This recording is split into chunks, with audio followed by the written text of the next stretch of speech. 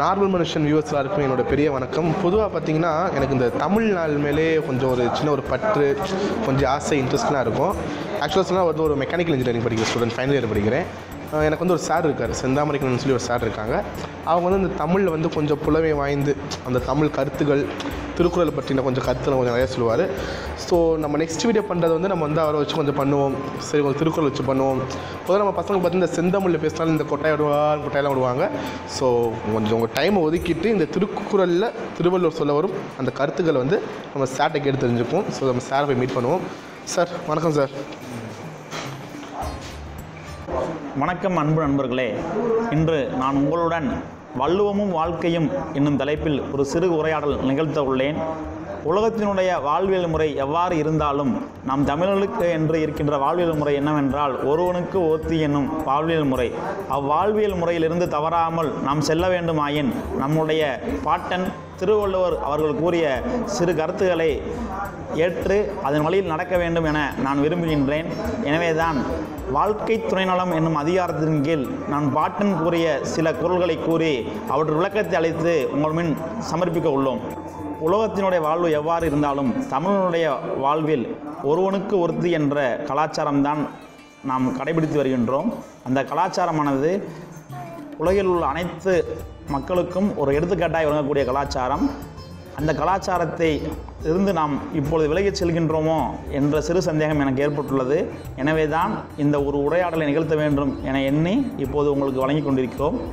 கணவன் மனைவி இருவரும் இணைந்து வாழ்கின்ற வாழ்விற்கு பெயர் இல்வாழ்க்கை என பெயர் வைத்தது தமிழனை தவிர வேறு யார் வேறு எவரும் இல்லை. தமிழனுடைய பண்பாட்டுப்படி கணவனும் மனைவியும் இணைந்து ஒரு வாழ்க்கை வாழ்கின்றனர். அதற்கு பெயர் இல்வாழ்க்கை.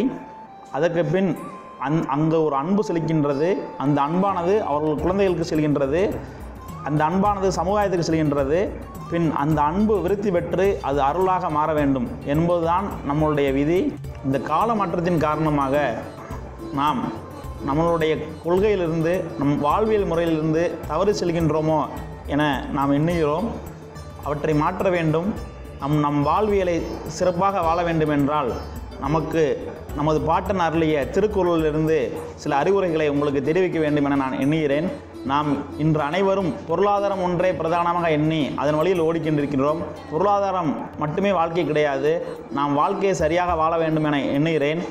அதனால்தான் இல்லறவியல் என்னும் இயலின் கீழே வாழ்க்கை துணை நலம் என்னும் அதிகாரத்தின் கீழ் வள்ளுவர் பெருமான் தெரிவித்துள்ள இரு குரட்பாக்களை உங்களுக்கு தெரிவித்து அதற்கு விளக்கத்தை இன்றான் உங்களுக்கு தெரிவிக்கலாம் என எண்ணுகிறேன். அவர் என்ன சொல்கிறார் என்றால் இல்லதன் இல்லவள் மாண்பானார் உள்ளதன் இல்லவள் மானாக்கடை. இல்லது என் உன்னிடம் இல்லாத செல்வம் என்ன? உன் மனைவி சரியாக இருந்துவிட்டால் உள்ளதென் உன்னிடம் உள்ளது என்ன? அவள் சரியில்லை என்றால் உன்னிடம் என்ன இருக்கின்றது? என நம்மிடம் கேள்வி எழுப்புகின்றார். நாம் எல்லாம் இன்று பொருளாதாரம் ஒன்றை பிரதானமாக எண்ணி ஓடிக்கொண்டிருக்கிறோம். நம் குடும்பத்தினர் மீது அன்பு செலுத்த நமக்கு நேரம் இல்லை நம் குழந்தைகளோடு அன்பு செலுத்த நாம் நேரம் இல்லை ஆனால் ஒன்று அன்பு நண்பர்களே நீங்கள் மறந்து விடாதீர்கள். உங்களுடைய பொருளாதாரத்தை விட உங்கள் குடும்பமும் உங்கள் குழந்தை செல்வங்களும் உங்களுக்கு முக்கியமானவர்கள். நாம் எல்லாம் அவர்களிடம் அன்பு செலுத்தவில்லை என்றால் அது ஒரு தவறான பாதைக்கு வழியிட்டு சென்று விடுமோ என்ற அச்சம் எனக்கு ஏற்படுகின்றது.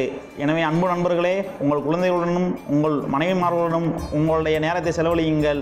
ஏனென்றால் அவர்கள் கண்பு கற்பு கரசிகளாக இருக்க வேண்டும் எனில் நீங்கள் அவர்களுடன் உங்களுடைய நேரத்தை பகிர்ந்து கொள்ள வேண்டும். உங்கள் குழந்தைகளுடன் உங்கள் நேரத்தை பகிர்ந்து கொள்ள வேண்டும். அதுதான் அவர்களை கற்பு கரசிகளாக ஆக்கும் என்கிறான். இன்னொரு திருக்குறள் சொல்லு சொல்கிறார் என்ன சொல்கிறார் என்றால் புகழ் புரிந்த இல் இல்லார்க்கு இல்லை இகழ்வார் முன் ஏறுபோல் பீடு நடை. உங்கள் மனைவி சரியானவளாக இல்லாத பட்சத்தில் உங்கள் எதிரியின் முன்னால் உங்களால் ஒரு நாளும் தலை நிமிர்ந்து நடக்க முடியாது என்கிறார். எனவே ஆண் மக்களே உங்களுடைய புகழானது உங்களுடைய கௌரவமானது உங்கள் கையில் இல்லை. உங்கள் மனைவிமார்களின் கையில் தான் உள்ளது. அவர்கள் புகழுடனும் கற்புடனும் கற்பொழுக்கத்துடனும் இருக்க வேண்டுமெனில் நீங்கள் அவர்கள் மீது செலுத்த வேண்டிய அன்பையும் செலுத்தியாக வேண்டும். அவளுக்காக ஒதுக்க வேண்டிய நேரத்தை ஒதுக்கியாக வேண்டும். நம் காலச்சூழல் காலையில் பத்து மணிக்கு வேலைக்கு சென்று இரவு பத்து மணிக்கு வருகின்ற சூழல் இருக்கிறது. இங்கு அவளுடன் நேரம் செலவழிப்பதற்கும் நமக்கு நேரம் இல்லாமல் போய்கொண்டிருக்கிறது இருக்கின்றது. இது ஒரு தவறான பாதைக்கு இட்டு சென்றுவிடும். எனவே நாம் நம்மளுடைய அறத்தை மீறாது நம் கணவன் மனைவி வாழ்க்கையை சரியாக வாழ வேண்டுமாயின் நீங்கள் அவர்களுக்கான நேரத்தை கண் கட்டி கண்டிப்பான முறையில் ஒதுக்கியே ஆக வேண்டும். மற்றும் அவர் பெண்களுக்கு மட்டும் சொல்லவில்லை ஆண் மகளுக்கும் சில அறிவுரைகளை சொல்லியுள்ளார். என்னவென்றால் பிறன்மனை நோக்காத பேராண்மை சான்றோர்க்கு அரண் ஒன்றோ ஆன்றோ ஒழுக்கு என்கிறார். அடுத்தவனுடைய மனைவி மீது ஆசை கொள்ளாதே என வள்ளுவன் ஆண்மகனையும் ஆண்மனுக்கும் அறிவுரை கூறுகின்ற அதே வேளையில் ஒரு பெண் தன்னுடைய ஒழுக்க நெறியிலிருந்து தவறாமல் இருக்க வேண்டுமாயில் அவள் அவளுடைய அவனுடைய கணவன் அவனை வைத்துக்கொள்தான் இருக்கின்றது.